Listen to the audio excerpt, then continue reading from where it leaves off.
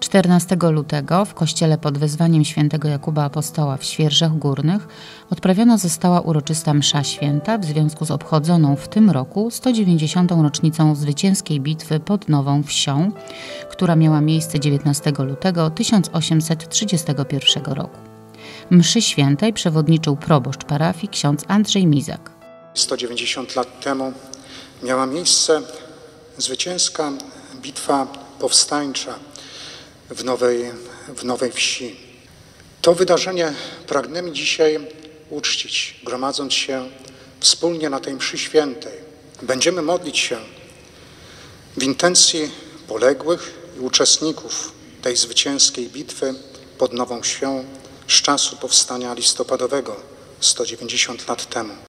W nabożeństwie wzięli udział m.in. Andrzej Jung, starosta powiatu kozienieckiego, Marian Śledź, prezes Związku Piłsudczyków Rzeczypospolitej Polskiej oddział w Kozienicach oraz przedstawiciele Rady Powiatu Kozienickiego, Gminy Kozienice, Sołectwa Nowa Wieś oraz Rady Rycerzy Kolumba w Kozienicach i Światowego Związku Żołnierzy Armii Krajowej koło nr 1 w Kozienicach, inicjatorzy trwałego upamiętnienia wydarzeń sprzed 190 lat.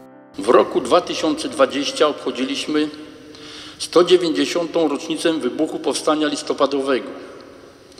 W trakcie zmagań wojennych w 1831 roku na ziemi kozienickiej miała miejsce ważna bitwa, która zapobiegła przemieszczeniu się wojsk rosyjskich pod Warszawę i umożliwiła skoncentrowanie wojsk polskich w rejonie Olszynki Grochowskiej. W historiografii określana jest jako bitwa pod Nową Wsią, i miała ona miejsce 19 lutego 1831 roku.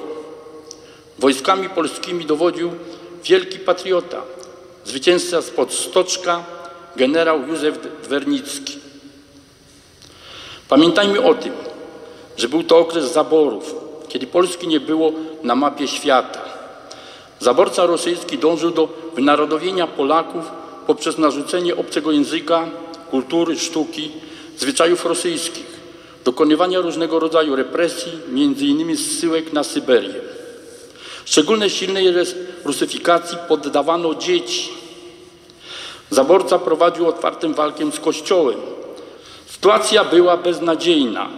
Pragnienie odzyskania państwa polskiego było poza możliwościami wszelkich marzeń. Dlatego powinniśmy być wdzięczni tym, którzy podejmowali się walki o wolną i niepodległą Polskę. Dzięki tej heroicznej odwadze Polska, choć dopiero po 130 latach, odzyskała tą wolność.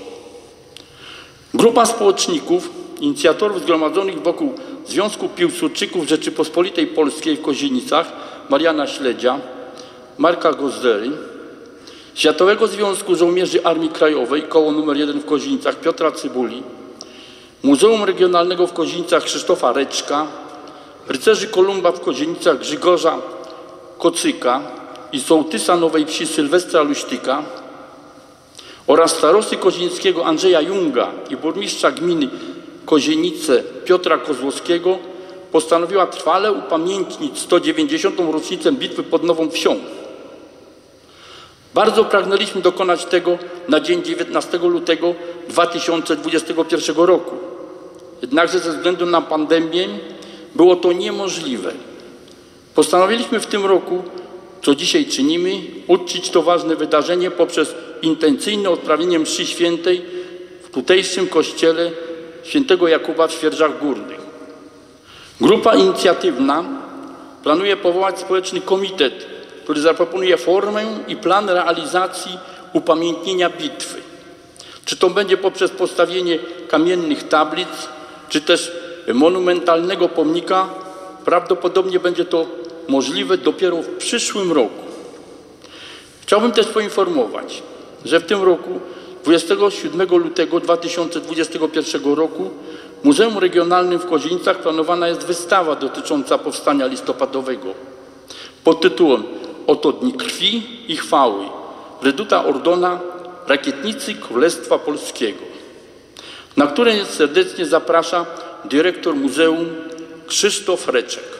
Dziękuję za zaszczycenie swoją obecnością tutejszym mieszkańcom oraz przybyłym gościom. Dziękuję pani naczelnik promocji Lucynie Domańskiej oraz jej zespołowi pracowników za wykonanie folderu okolicznościowego na dzisiejszą uroczystość. W folderze znajdują się informacje dotyczące m.in. bitwy pod Nową Wsią oraz przedstawiona jest nasza intencja i plan dalszych działań.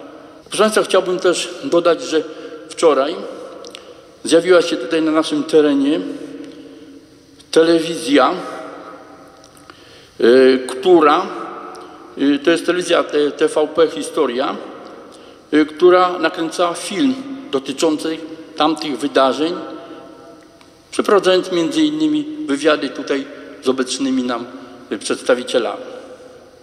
Nie wiem, kiedy to się ukaże, ale myślimy, że jest to też ważne dla nas wydarzenie, dlatego ponieważ będzie miało to zasięg ogólnokrajowy.